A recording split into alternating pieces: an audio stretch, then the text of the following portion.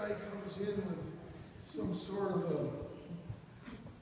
you know, horn of plenty or some kind of a, uh, Prince and Paul, I don't know what to say. He lives here and he made this flute. Does that look like a flute? We're gonna see what it sounds like.